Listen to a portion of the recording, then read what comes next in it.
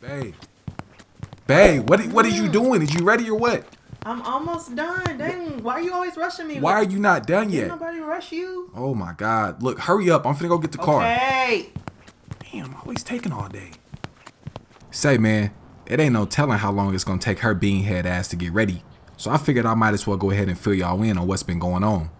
So obviously the first step in starting a dispensary is getting a license. Well, for some reason this old bastard wanted to make that near impossible. Well, listen, sometimes in life it's not what you know, but rather who you know. Alicia brought all her colleagues from her law firm that she works at to our appeal hearing. Now his old ass ain't got nothing to say. Uh huh. Anyways, Alicia's intimidation plan worked and we secured our license. Now it was time for us to find a location to set up shop. The first stop I made was to this small family owned dispensary right off the beach. Now I had no real intention on working with them, but I still wanted to reach out. That way it's no hard feelings when we run them out of business. But just like I thought, they wasn't trying to hear anything I was saying. So cool, on to the next one. Now the next stop I made was to this nice sized building downtown. I can't lie bruh, it had real potential. It was already gutted for the most part, so that means refurbishing would be super easy. It also had an upstairs which would have been perfect to add some office space. But the owner of the property wanted way too much damn money. Now look, I ain't gonna lie. I was getting ready to call it a day, you know, head home. But that's when I ran into the perfect location, bruh.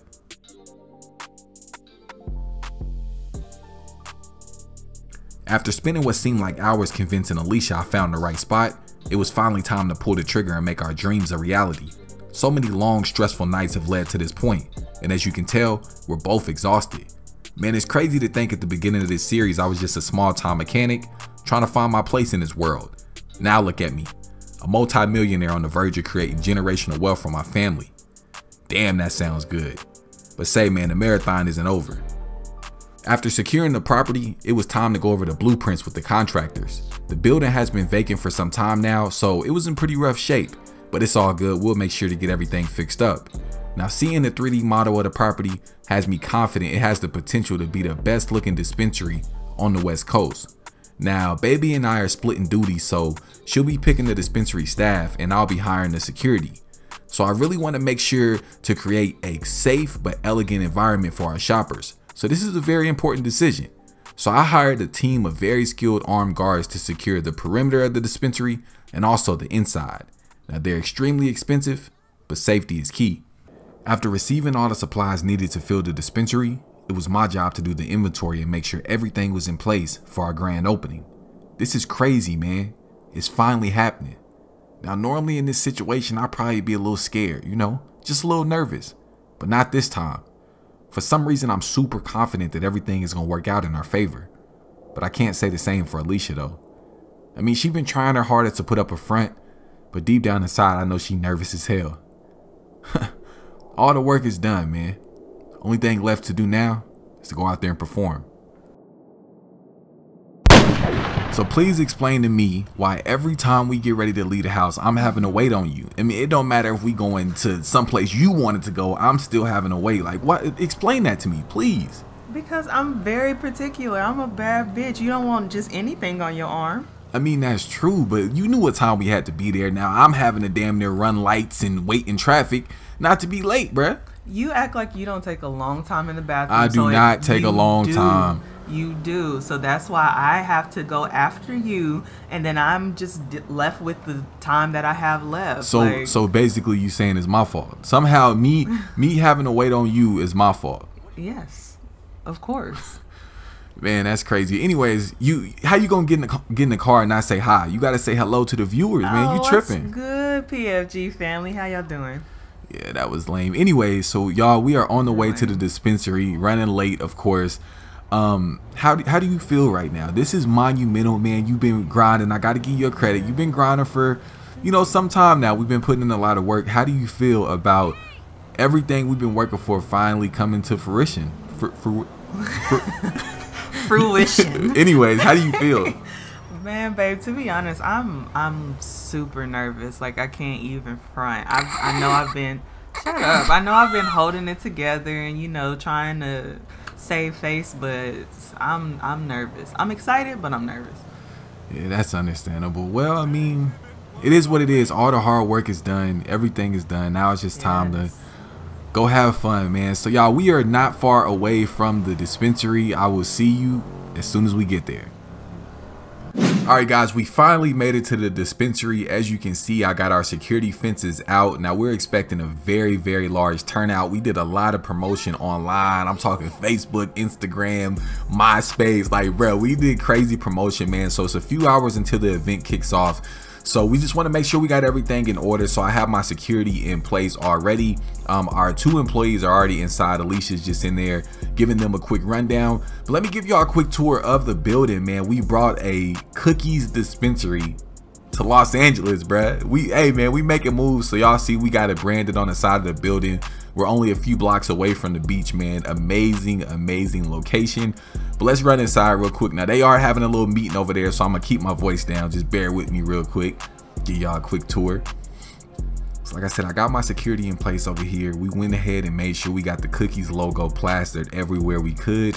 Um, everything is official, bro. Y'all see GP over there on the wall. For those of you that don't know, my boy Gary Payton. Yes, he is the official you know, Cookie's real when, you know, he's a part of the team. So, yeah, man, we got all of our brands up there. You see the honey bun, the gelato, the lemon cakes, the cake mix, everything, bro. It's all official. Everything is everything is here in shop.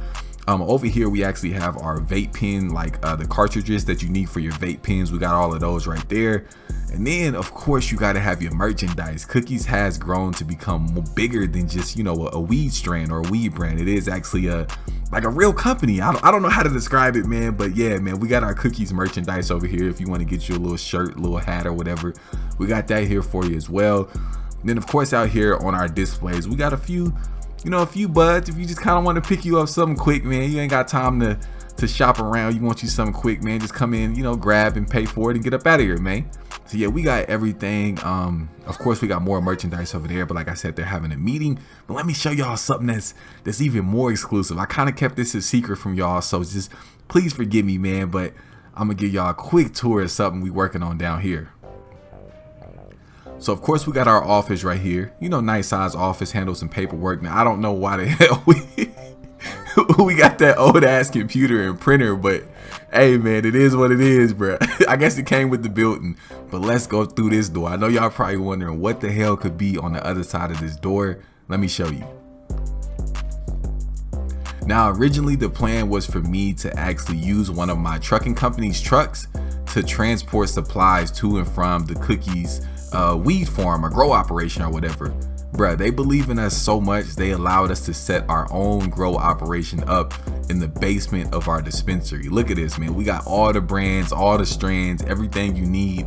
We got it here on location. That way you ain't gotta wait, you know, two and three weeks or however long it take for us to re-up. Now we got it all right here, bruh. Look at this, man. This is very, very monumental. We got the lights, the, the listen, bro, the fans, everything, man. I'm so excited for this operation, bro.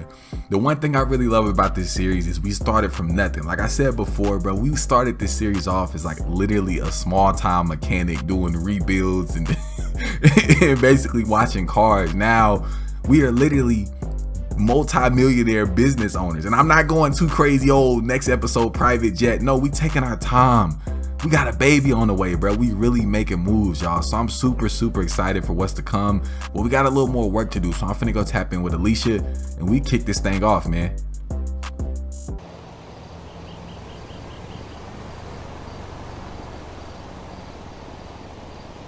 So the grand opening turned out really well, but I think Alicia probably had her hopes a bit too high. We made $8,000 today, which is amazing for only our first day in business. I think she was probably expecting us to totally sell out of stock and make over 20,000 or something like that. So of course I had to spend the majority of the night letting her know that today's numbers are a win for us. It's just our first day. But after I got her to calm down, I said we should go outside and have a few drinks. You know, unwind a bit. But that's when she hit me with this. So, babe, I've been thinking with all of the moves we've been making, you know, the house, we got the business up and running, and we got the baby on the way. I was just thinking, like, why not make it official? Like, why don't we get engaged, you know? I mean, we've been building this life together, and I know what I want, and I know you feel the same way about me, so why not do this? Like, honestly, let's get married.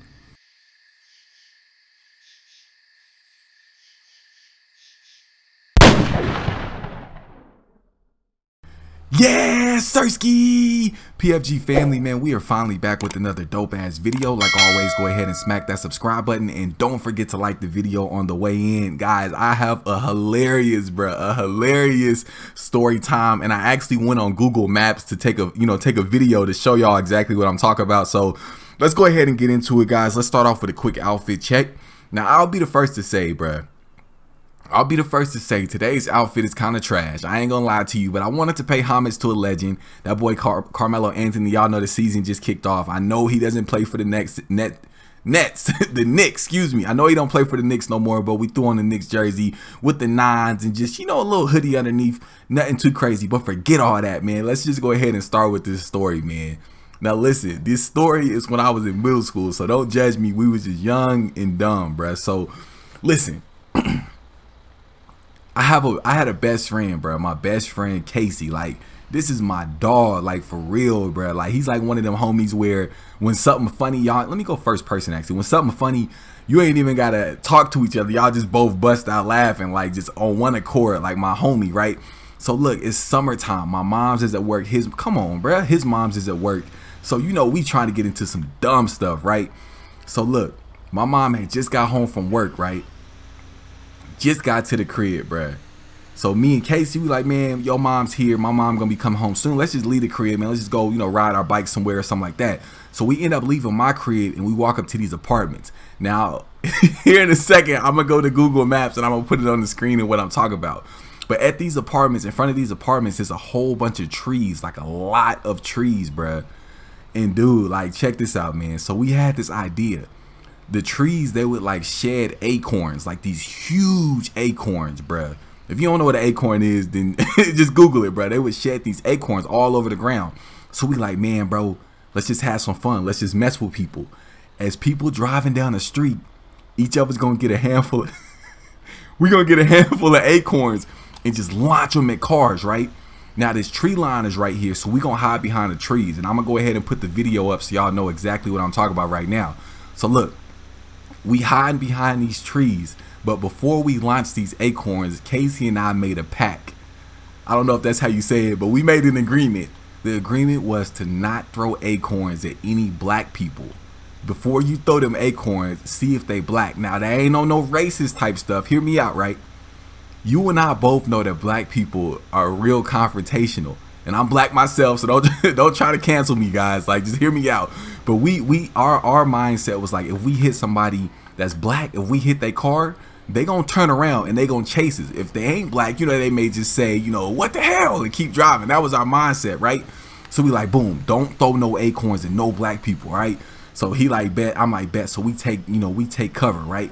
And we just waiting. Now I don't know how we figure we'd be able to determine who's driving the car in one split second, but we just said F it. So it was a stoplight up the street. We like, hey, bro. As soon as this light turned green, we launching these bitches, right? So we taking cover behind these trees. Both of us got like four acorns. Boom. A car drives down the street. I never forget. It was an old Toyota, four door Toyota. It was one of them green ones with with the uh, the tan interior. It had to be like a '98 or something, right? Boom.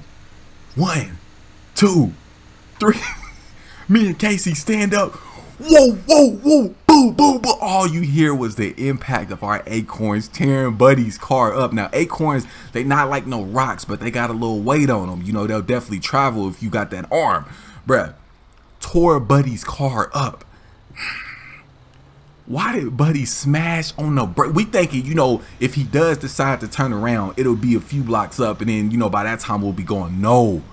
Buddy smashes on the brakes right then and there. Me, me, me and Casey like, oh, oh shit. me and Casey go, bro. Me and Casey, it's a huge field as y'all can see on the video. Um, I'm, I'm, gonna put the video back up so y'all can see where we ran.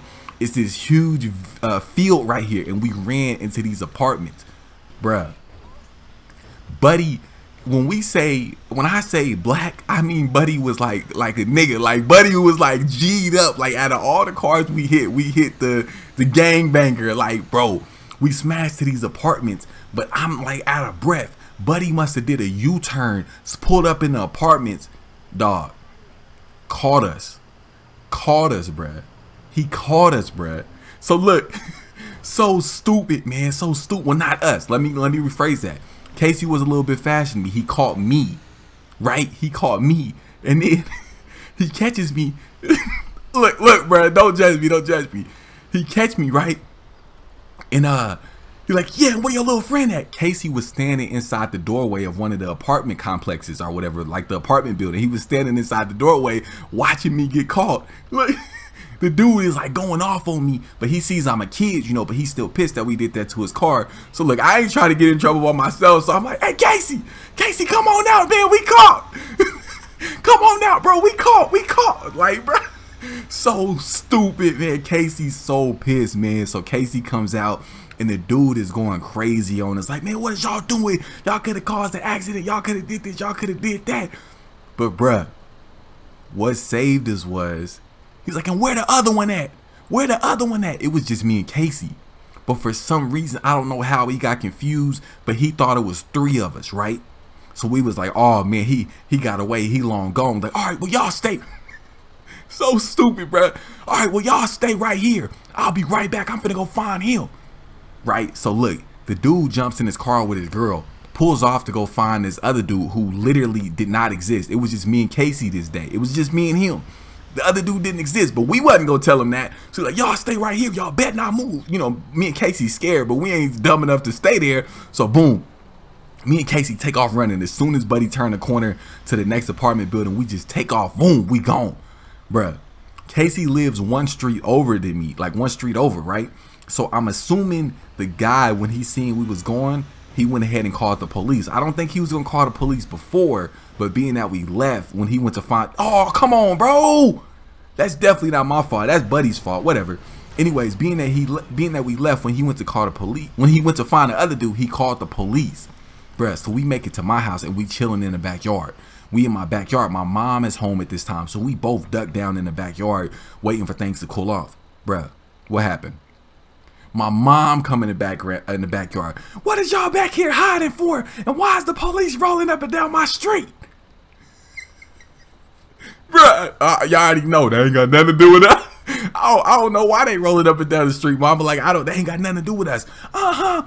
Uh, get your ass in this house. My mom tell me to come in, but obviously Casey still gotta make it home. So we still telling my mom that ain't got nothing to do with us. And I never forget my mom was like, uh, She's like, so if I stop that police officer and ask him if he looking for two little uh, black boys, he gonna say no. Of course, yeah. of course he gonna say no, cause he ain't looking for it. You know, we sitting there lying, bruh, lying our ass off, bruh. So look, my mom make me go in the house. She didn't care about Casey, bruh. Send Casey packing, my boy Casey, man.